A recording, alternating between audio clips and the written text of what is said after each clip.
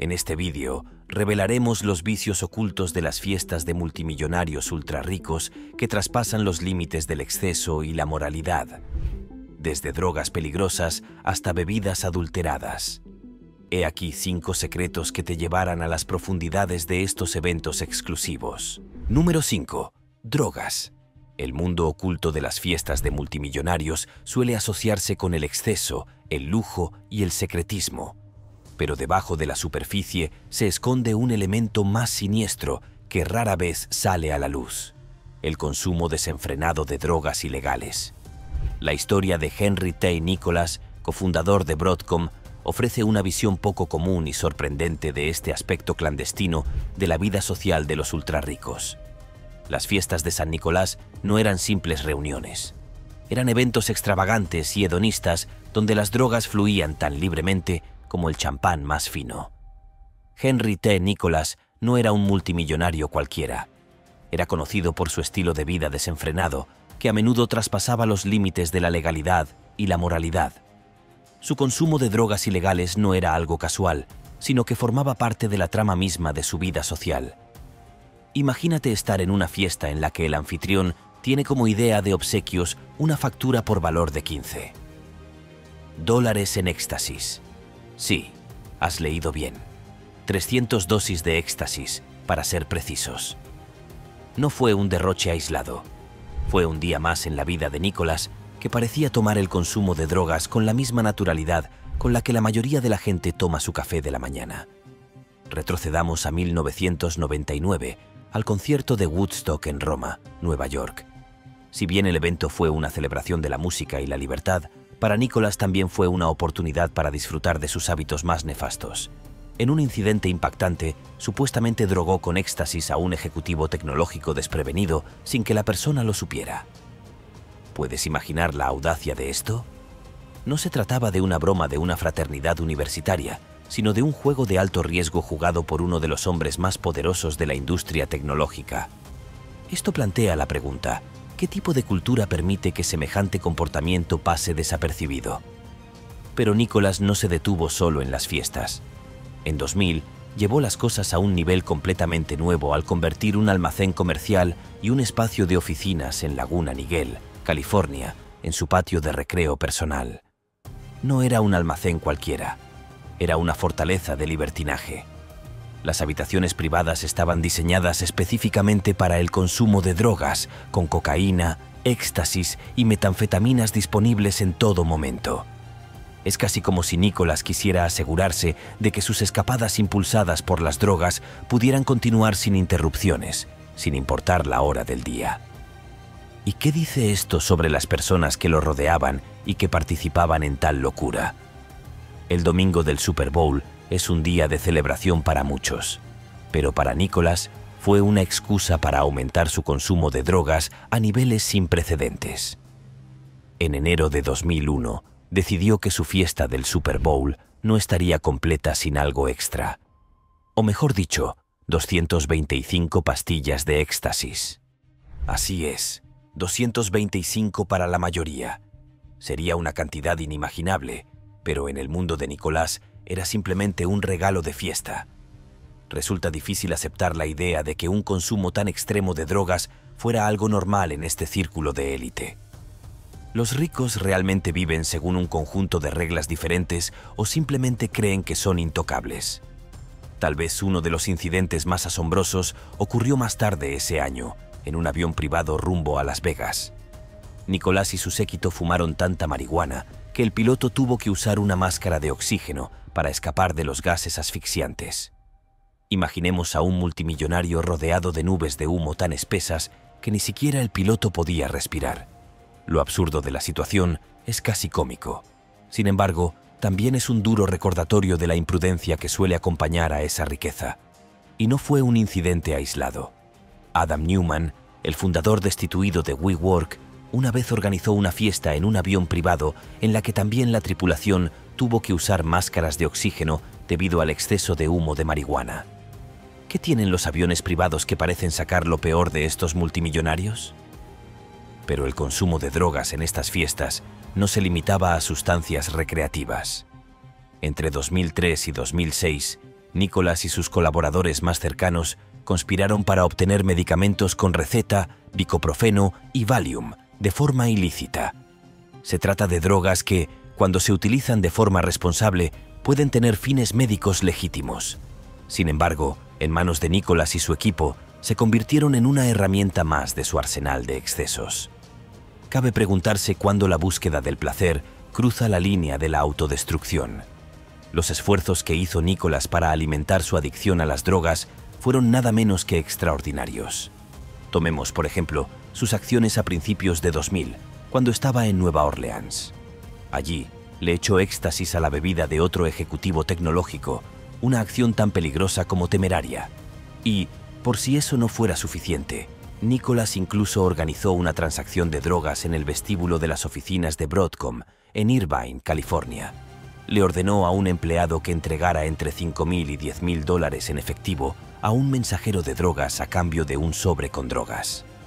El descaro de realizar semejante transacción en un entorno corporativo es casi demasiado surrealista para creerlo. Y justo cuando piensas que son solo las cargas de drogas las que estos multimillonarios suelen tener en la fiesta, entonces es posible que te lo estés perdiendo. Cuando asistes a estas fiestas y te mantienes firme en tu postura de no participar en sus actividades hedonistas, es posible que te obliguen a hacer precisamente las cosas a las que te opones. Pero, ¿cómo? Te sorprenderá saberlo. Número 4. Bebidas adulteradas. Las fiestas de multimillonarios siempre han estado envueltas en un aire de misterio y excesos, pero debajo de la ostentación se esconde una realidad mucho más oscura. Uno de los aspectos más preocupantes de estas reuniones de la alta sociedad es el problema generalizado de las bebidas adulteradas con drogas o alcohol en exceso, a menudo con intenciones siniestras. No es algo que ocurra raramente, sino un secreto bien conocido en los círculos de élite. ¿Pero por qué? ¿Qué lleva a alguien a echar algo a una bebida? La respuesta es escalofriante. La intención suele ser incapacitar a las víctimas, dejándolas vulnerables a agresiones sexuales o robos. No se trata de incidentes aislados, sino de una tendencia más amplia y preocupante. Tomemos como ejemplo el caso de Henry T. Nicholas III, cofundador de Broadcom y conocido por sus fiestas desenfrenadas. En 2019, Nicholas fue acusado de tráfico de estupefacientes después de que la policía encontrara heroína y metanfetamina en su suite de un hotel de Las Vegas.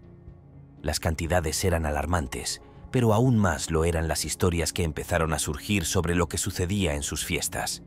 Para protegerse del escrutinio, Nicholas exigía a los asistentes que firmaran acuerdos de confidencialidad, NDA, lo que garantizaba de manera efectiva que lo que sucedía en sus fiestas permaneciera en secreto. Pero, ¿acaso la firma de un acuerdo de confidencialidad justifica realmente lo que ocurre a puerta cerrada?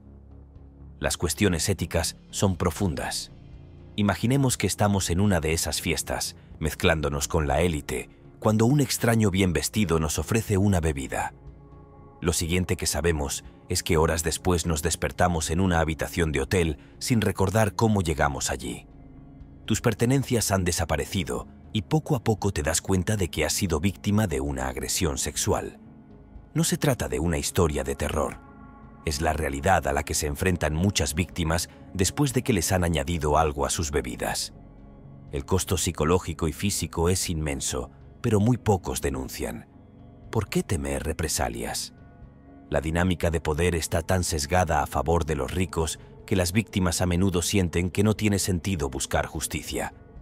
Las drogas que se usan para adulterar las bebidas en estas fiestas se eligen específicamente por su potencia y su capacidad para incapacitar rápidamente. El rohipnol, conocido comúnmente como la droga de la violación, puede causar somnolencia intensa, confusión y pérdida de memoria. El GHB, otro de los favoritos, induce euforia, seguida de inconsciencia, lo que hace que las víctimas sean incapaces de recordar los hechos. Y luego está la ketamina, un potente anestésico que puede causar alucinaciones y una sensación de desapego de la realidad. Estas sustancias pueden dejar a una persona desorientada durante horas, incapaz de defenderse de lo que pueda suceder a continuación. Uno podría preguntarse, ¿por qué nadie pone fin a esto? ¿Por qué estos depredadores no rinden cuentas? La respuesta está en la cultura del silencio que rodea a estas reuniones de élite. Los acuerdos de confidencialidad se manejan como armas.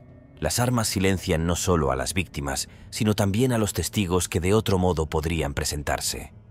En Boston, Robert McClanahan fue acusado de adulterar bebidas para explotar a mujeres jóvenes en sus fiestas. Y esto ocurrió después de que se hubieran denunciado a la policía más de 100 incidentes similares. A pesar de la gran atención de los medios, el empresario utilizó su influencia y sus recursos para evitar consecuencias graves. Este caso es solo uno de los muchos que ilustran el inmenso poder que estos individuos tienen sobre el sistema judicial. Como es de esperar con las drogas y las bebidas adulteradas, tiene que haber algo más para completar la fiesta. Pero, ¿qué es exactamente? ¿Y las acompañantes? Estas reuniones de los ultra ricos no se limitan a la opulencia y la indulgencia. Con frecuencia implican la explotación y cosificación de mujeres jóvenes, incluidas supermodelos, estrellas del porno y prostitutas. El ejemplo perfecto de tales excesos y decadencia moral son las infames fiestas Bunga Bunga, organizadas por el difunto primer ministro italiano Silvio Berlusconi. Silvio Berlusconi, magnate de los medios de comunicación y cuatro veces primer ministro de Italia, era famoso por su extravagante estilo de vida y su controvertida carrera política. Sin embargo, su vida personal a menudo eclipsaba sus logros políticos, especialmente cuando las fiestas Bunga Bunga salían a la luz. Estos eventos, que se celebraban en su villa Arcor, cerca de Milán, no eran simplemente reuniones sociales, sino espectáculos eróticos en los que participaban numerosas mujeres jóvenes. El escándalo estalló en 2010, cuando Berlusconi llamó personalmente a una comisaría de policía para conseguir la liberación de una joven marroquí de 17 años, Karima El Marouk, también conocida como Ruby, la ladrona de corazones. Había sido detenida bajo sospecha de robo de joyas.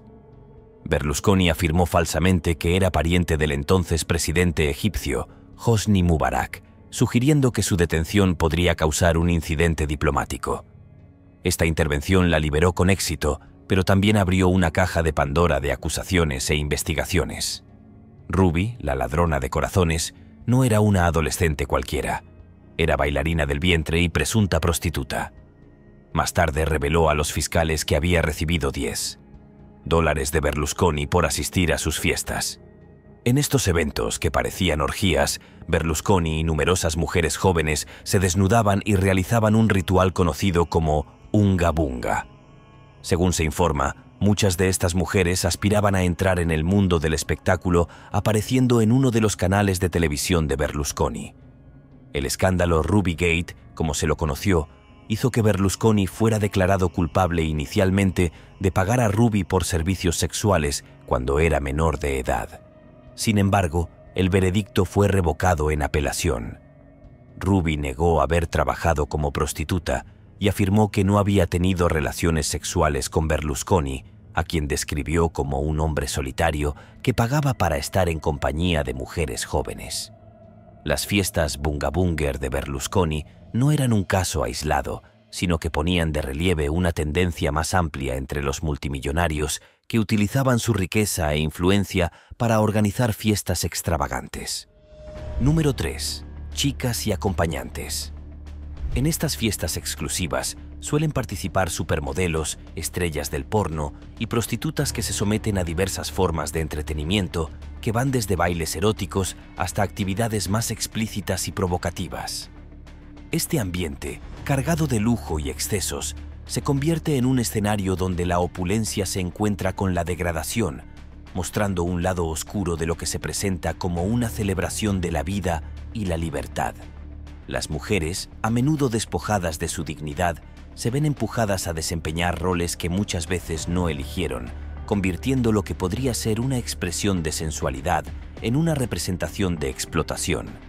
El término bunga bunga en sí tiene un origen interesante y revelador. Según una biografía de Silvio Berlusconi publicada en 2015, la frase surgió de un chiste que le contó el líder libio Muammar Gaddafi. Este detalle arroja luz sobre la relación entre estos dos hombres poderosos, que compartían una amistad que fue tan fuerte como controvertida. Antes de que Gaddafi fuera depuesto y asesinado en 2011, ambos disfrutaban de un estilo de vida que combinaba política, riqueza y la búsqueda del placer a cualquier costo.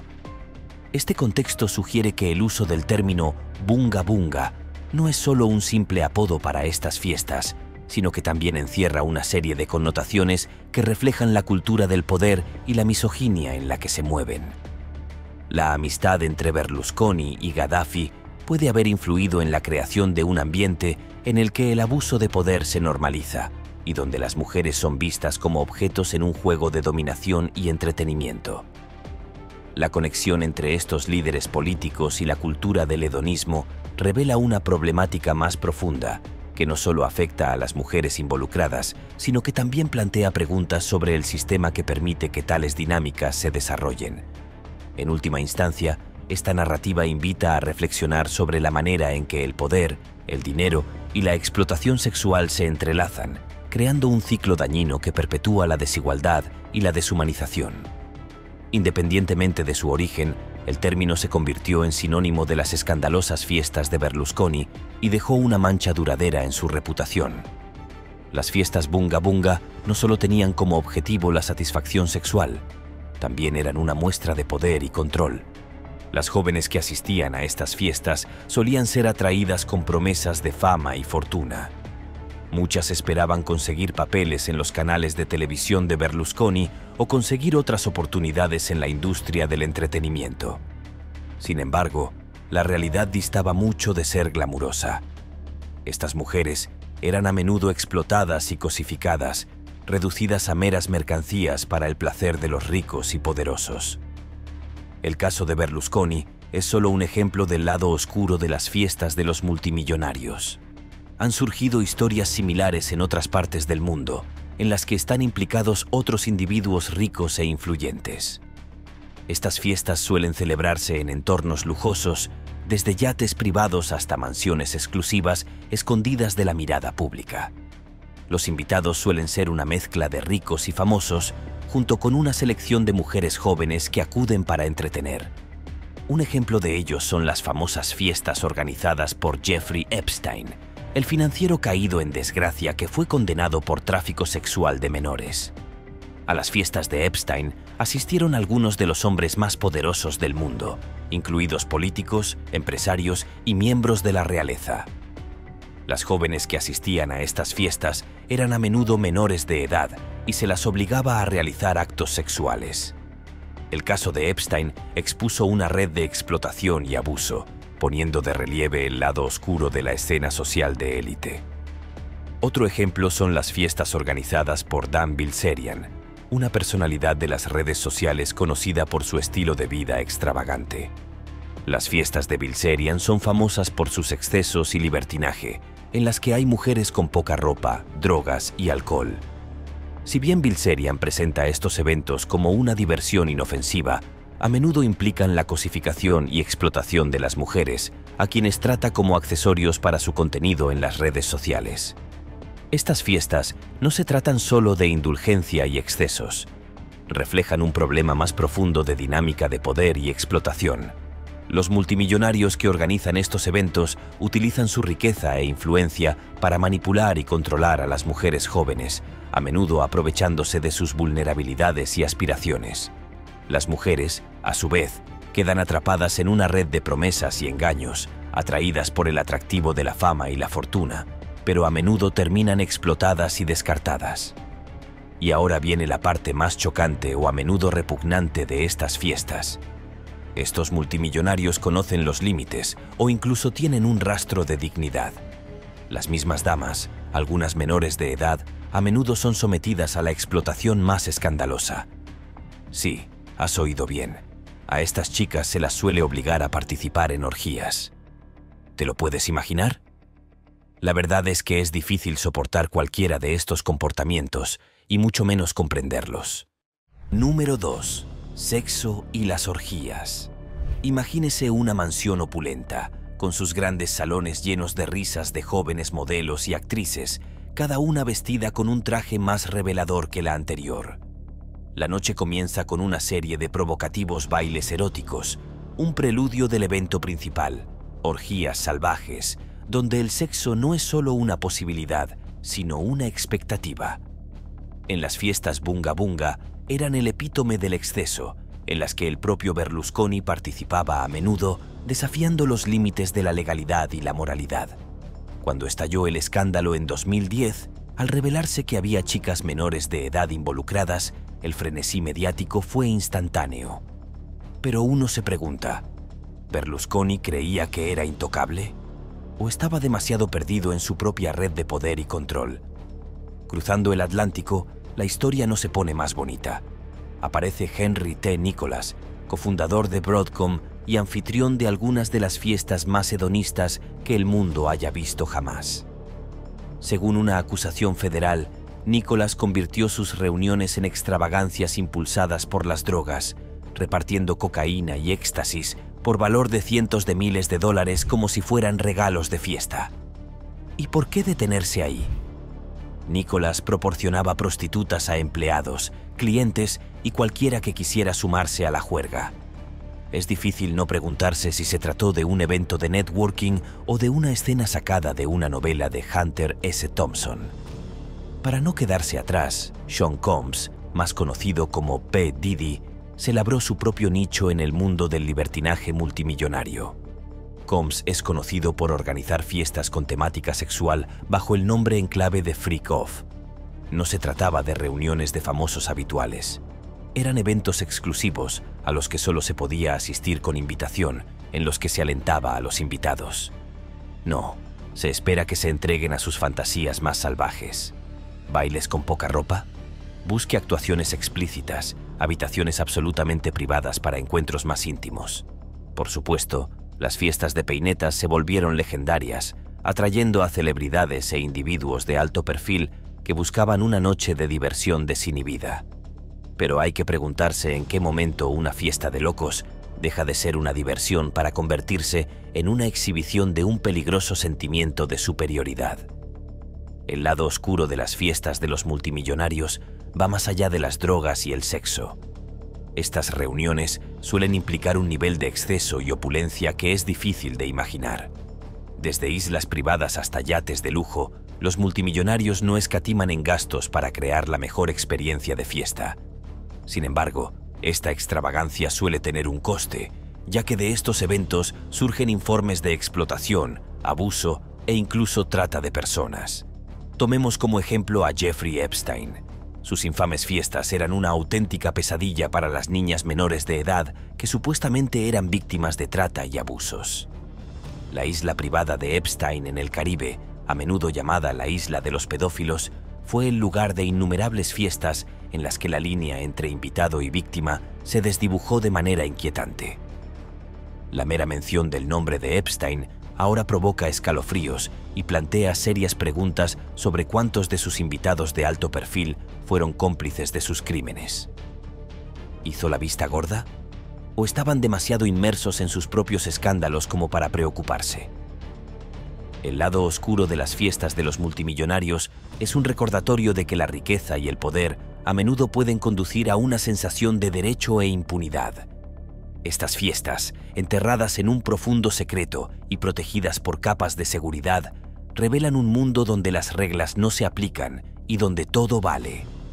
Las historias de Berlusconi, Nicholas Combs y Epstein son solo la punta del hielo, y hay innumerables otras historias de excesos y libertinaje que esperan ser descubiertas. Así que la próxima vez que oiga hablar de una lujosa fiesta de un multimillonario, recuerde que detrás de la ostentación y el glamour se esconde un mundo tan oscuro como deslumbrante. Sin embargo, hay una cosa que falta en todo esto. Pero, ¿qué podría ser? se preguntará. Bueno, ¿qué ocurre cuando se revelan estos secretos ocultos? ¿O cuando almas valientes y bocazas se atreven a ponerse de pie y pintar todos los detalles posibles sobre el velo que se esconde tras estos secretos de multimillonarios? La mayoría de las veces, siempre hay indignación pública, lo que obliga a las fuerzas del orden a actuar con rapidez y tomar medidas contra estas personas. Sorprendentemente, estos casos nunca llegan a los tribunales. O, si lo hacen, los cargos nunca son tan punitivos como deberían. ¿Qué pasa entonces con los testigos? Sí, lo has adivinado. A menudo les dan limosnas y a cambio cambian sus confesiones. De esa manera, estos multimillonarios pueden entrar y salir de los juzgados tan pronto como llegan allí. En 2013, Berlusconi fue condenado por pagar a una prostituta menor de edad para tener relaciones sexuales. Aunque su condena fue revocada en 2015, el drama estaba lejos de terminar. Corrieron rumores de que Berlusconi había gastado más de 10 millones de euros entre 2011 y 2015 para comprar el silencio de testigos clave, la joya de la corona de su dinero para conseguir su silencio. Nada menos que Ruby, la mismísima ladrona de corazones, recibió regalos, coches, viviendas de lujo e incluso gastos médicos cubiertos. Es casi como si Berlusconi creyera que el dinero puede hacer desaparecer cualquier verdad incómoda. Pero, ¿es así? En abril de 2017, Berlusconi volvió a la sala del tribunal, esta vez por sobornar a testigos. El caso fue un reflejo de hasta qué punto la riqueza puede manipular el sistema legal. Pero también se planteó la pregunta, ¿cuántos ceros hacen falta en un cheque para borrar la culpa? En el mundo de Berlusconi, donde los tribunales eran simplemente otro patio de recreo para los ricos, la respuesta parecía ser todos los que sean necesarios. La industria de la música tampoco es inmune al atractivo del silencio alimentado por el dinero. Entra en escena P. Diddy, el magnate con una inclinación por las fiestas lujosas y sin restricciones. Los rumores sobre lo que realmente sucedía en estas reuniones eran lo suficientemente fuertes como para llegar a la sala del tribunal. Sin embargo, cuando su exnovia, Cassie Ventura, amenazó con soltar la sopa, P. Diddy supuestamente sacó su billetera en lugar de a sus abogados. Después de un acuerdo multimillonario, los detalles de esas famosas fiestas nunca vieron la luz del día en el tribunal. Es casi como si P. Diddy hubiera decidido por qué dejar que el jurado decida cuándo basta con una maleta llena de dinero. Pero ¿no resulta irónico que el mismo dinero que compra el silencio también pueda comprar sospechas? Y luego está el príncipe oscuro del mundo tecnológico, Jeffrey Epstein. Sus fiestas eran legendarias, aunque no por las razones que uno esperaría. No se trataba de simples reuniones suntuosas, sino de la fachada de una operación monstruosa. Las reuniones de Epstein eran supuestamente fachadas de una red de tráfico sexual en la que se aprovechaban de mujeres jóvenes bajo la apariencia de pertenecer a la alta sociedad. Cuando Epstein fue arrestado en 2019, el mundo esperaba con gran expectación a ver quién más podría ser el centro de atención. Pero su repentina y misteriosa muerte en prisión dejó más preguntas que respuestas. ¿Es posible matar un secreto matando a su guardián? Y ahora, además de los sobornos y pagos, hay otro aspecto clave de estas fiestas multimillonarias. Si ya te has dado cuenta, estas fiestas siempre se celebran en lugares a los que no es posible acceder o en los que es fácil colarse. Siempre se encuentran en zonas lejanas y remotas. Por ejemplo, tenemos la isla Epstein en una u otra. Estos lugares sobran magia para los multimillonarios. En primer lugar, pueden llevar a cabo todos sus actos hedónicos a pleno rendimiento. En segundo lugar, la idea de que sus sujetos escapen es casi imposible. ¿O es posible nadar desde una isla hasta el continente? No se puede, ¿verdad? Veamos otras posibles razones por las que estas fiestas suelen celebrarse en lugares apartados. Número 1. Lugares aislados y pasadizos ocultos. Las fiestas de los multimillonarios tienen cierta mística, una promesa de exclusividad que atrae a la élite a un mundo muy alejado de lo cotidiano. Pero, ¿qué sucede realmente detrás de las cuerdas de terciopelo y las puertas vigiladas de estas reuniones opulentas? La respuesta, como se ve, es mucho más oscura de lo que sugieren los exteriores brillantes. Estos eventos no solo tienen que ver con el lujo y el exceso, también tienen que ver con el secreto, los pasadizos ocultos y los extremos a los que están dispuestos a llegar los ultrarricos para proteger sus caprichos. Tomemos como ejemplo a Henry T. Nicholas III, cofundador de Broadcom Corps. Nicholas no se limitó a construir una mansión, sino que construyó una fortaleza secreta. Su finca de Laguna Hills estaba equipada con puertas ocultas, palancas secretas y túneles subterráneos que harían sonrojar a una novela de espías. Pero no se trataba simplemente de decisiones arquitectónicas caprichosas. Tenían un propósito más siniestro. Nicholas, impulsado por lo que los documentos judiciales describen como una obsesión maníaca con las prostitutas y una adicción a la cocaína y al éxtasis, creó un patio de recreo para sus vicios su guarida subterránea de 30 millones de dólares era tan secreta que ni siquiera su esposa, Stacy Nicholas, sabía nada al respecto. Pero, ¿por qué llegar a tales extremos? ¿Se trata simplemente de una cuestión de privacidad o hay algo más? Cuando se considera el secreto que envuelve estas fiestas, es difícil no preguntarse qué ocultan. Para Nicholas, era un mundo privado en el que podía disfrutar de fiestas alimentadas por drogas con prostitutas y estrellas del rock, todo ello manteniendo una imagen pública de respetabilidad. Su local clandestino, llamado Nick's Café, se convirtió en su burdel personal, un lugar donde las fronteras entre la realidad y la fantasía se difuminan, oculto a las miradas indiscretas de la sociedad. Por supuesto, Nicholas no está solo en su búsqueda de indulgencias secretas. Los ultrarricos tienen una inclinación por celebrar sus fiestas en lugares remotos o exclusivos a los que es casi imposible que los forasteros accedan o incluso sepan de su existencia. El magnate minorista Sir Philip Green llevó a 100 de sus amigos más cercanos a las Maldivas para celebrar su 55 cumpleaños. Los invitados, que desconocían su destino hasta el último momento, disfrutaron de un suntuoso banquete en la playa y de actuaciones de famosos como George Michael y Ricky Martin. Pero el aislamiento del complejo turístico Sonoba Fushi plantea la pregunta, ¿qué más ocurrió? Lejos de las miradas indiscretas, en un lugar tan apartado del mundo, donde las reglas de la sociedad parecen desvanecerse, uno solo puede imaginar las posibilidades. Y luego está Ronald Perlman, el inversor multimillonario que una vez organizó una fiesta en su yate de 135 pies. Después de todo, los yates son el lugar de juego perfecto para quienes buscan disfrutar del tipo de comportamiento que no se toleraría en tierra. Al navegar en aguas internacionales, lejos de la jurisdicción de ningún país, las posibilidades de exceso son infinitas. Las fiestas en yates de Perlmans eran legendarias no solo por su lujo, sino por la sensación de absoluta libertad que brindaban. Pero en un mundo donde todo vale, ¿cómo se ve esa libertad? ¿Y a qué precio?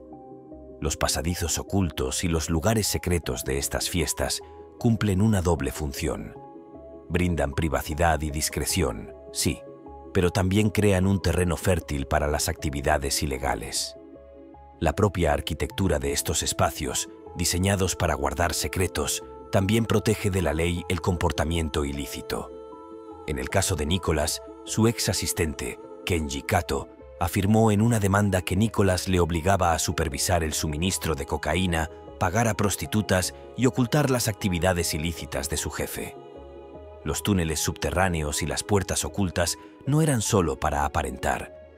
Eran herramientas de un juego mucho más amplio de engaños e indulgencias. Pero, ¿Qué pasa con aquellos que se ven atraídos a este mundo, ya sea por elección propia o por las circunstancias? Los contratistas como Roman James, que trabajaban en la propiedad secreta de Nicholas, a menudo se ven atrapados en una red de manipulación e intimidación. James y su equipo acusaron a Nicholas de usar mentiras, intimidación e incluso amenazas de muerte para presionarlos a completar el proyecto sin una compensación adecuada. Hay mucho en juego y las consecuencias pueden ser graves. Para los contratistas, el atractivo de trabajar para un multimillonario puede convertirse rápidamente en una pesadilla, ya que las exigencias de secreto y discreción superan cualquier ganancia financiera. Ni siquiera los invitados a estas fiestas son inmunes a los aspectos más oscuros de este mundo. El atractivo de la exclusividad puede llevar a las personas a situaciones comprometedoras en las que la línea entre el consentimiento y la coerción se difumina. En el aislamiento de una isla remota o en las profundidades ocultas de una guarida subterránea, ¿quién vigila? Y, lo que es más importante, ¿quién está ahí para proteger a quienes se encuentran en una situación que les supera? A medida que vamos desvelando las capas de secretismo que rodean a estas fiestas multimillonarias, nos quedamos con un panorama inquietante. Los pasadizos ocultos, los lugares remotos, la abrumadora sensación de aislamiento, todo sirve para proteger un mundo en el que las reglas que gobiernan al resto de nosotros simplemente no se aplican. Es un mundo en el que los ultrarricos pueden satisfacer sus deseos más oscuros sin temor a las consecuencias, escondidos a plena vista. Pero, ¿es realmente así de sencillo? ¿Existe realmente alguna forma de esconderse de las consecuencias de nuestras acciones? Tal vez la pregunta más reveladora de todas sea, si todo fuera verdaderamente legal, ¿por qué esforzarse tanto en ocultarlo? La respuesta, como ocurre con tantas cosas en el mundo de los ultrarricos, sigue envuelta en secreto. Gracias por ver este video. Hasta la próxima.